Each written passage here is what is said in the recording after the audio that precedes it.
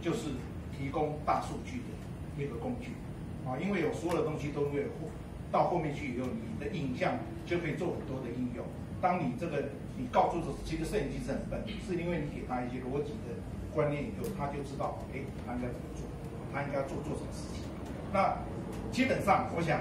大家现在这个是现在最夯的啊，就是这个人脸辨识啊，人脸辨识，我们可以看得到，连国内这些不管是超商业者什么，大家都一窝蜂，大家都在讲刷脸这个事情啊。那其实人脸辨识可以做的事情，绝对不只有不只是这个而已啊。那我们看到的是，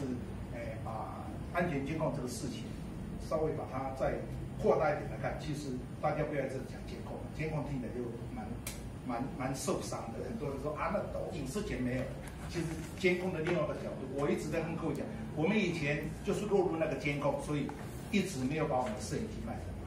但是你如果把监控反过来是一个管理跟一个分析的工具，哦，每个老板都很喜欢啊，那个掏掏钱的他都很喜欢。他可能被监控的可能不喜欢了，不过重点是你要把东西卖给那个愿意掏钱的人啊，所以这个应该是一个一个一个一个想法啊。所以看一看啊，就是说 AI 里面它其实主要就是我们讲的这个 deep learning，就是说你很多的影像来以后，你去做一些哦融融入很多，然后出来很多 pattern，那这些 pattern 就就拿来每一不同的产业来应用。那现在几乎我讲。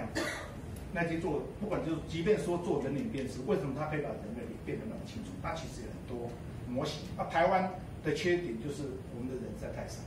所以你可以看为什么欧美或是中国大陆，它人脸可以做得很好，因为它的人的脸型的那个 pattern 就够，它做出来的东西一定比你准。